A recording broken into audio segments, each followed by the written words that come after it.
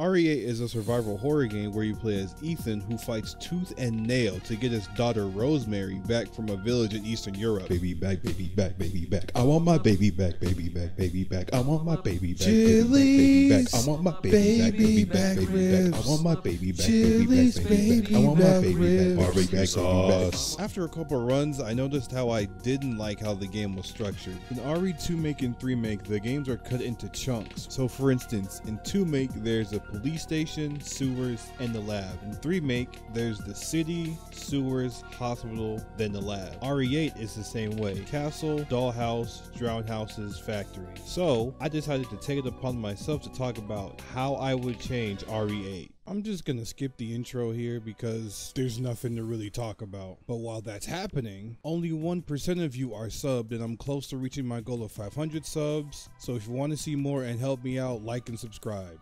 Thank you. This is where the story will split into two paths. Event A. Ethan gets dragged to an area near the drowned houses where Moreau is located. Let's say the first wing key part is also there since flask order doesn't really matter. Event B. The events stay the same until you complete the castle. After Ethan uses payback, Lady D angrily flies around the village. Ethan does Ethan shit, somehow having Lady D drop you in the drowned houses. This means Ethan escapes the castle and leaves Lady D a very angry vampire. Up next is Heisenberg. Let's see what you're really made of. Ethan Rogers.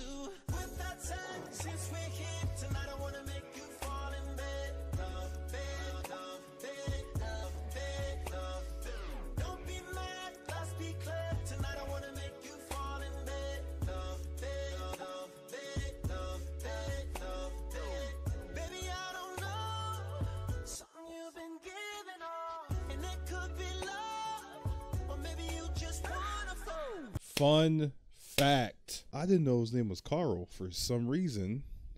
I thought it was Sam. Here's my idea for the factory section of the game. Lady D follows Ethan to the factory, still upset that her daughters got Mandingo. Get it? Because it's like Mandingo. You'll run into her as you progress through the factory, watching Mommy Dom lose her temper as she just barely catches you. As she tears through the factory, Ethan will run into her from time to time up until he meets with Chris. There can be some dialogue where Heisenberg and Lady D argue about who's gonna get Ethan first, followed by a cutscene where Karl summons his robot army to take care of Alcina. Ethan fights Heisenberg until the factory explodes, and that's when Lady D shows up. She's damaged from trying to fight off Karl's robot army while also making attempts on Ethan's life. Now, Ethan has to fight them both at the same time while they fight each other. Heisenberg's on his Magneto shit. Destructor, you have lost! Magnetic Panther, Gravity Squeeze! You are defeated. Lady D scratching and summoning bugs to rip apart Heisenberg while trying to keep tabs on Ethan. There's parts in the fight where you can make them hit each other for extra damage since they're both after Ethan. But when one of them bites the dust, you can finish off the other. After that, things can play out the same way from there. Ethan gets his goaded father of all time award and the story of the father ends. My plan was to switch some sections around to make the game kind of flow better in my opinion. It's probably not the best way to change things, so let me know how you change them down below in the comment section. If you're wondering about the DLC with Rose, I haven't played it yet, so I'm not sure if my events would conflict with hers. I'm gonna assume they don't though. I stream at twitch.tv slash pk squared, but I don't have a schedule.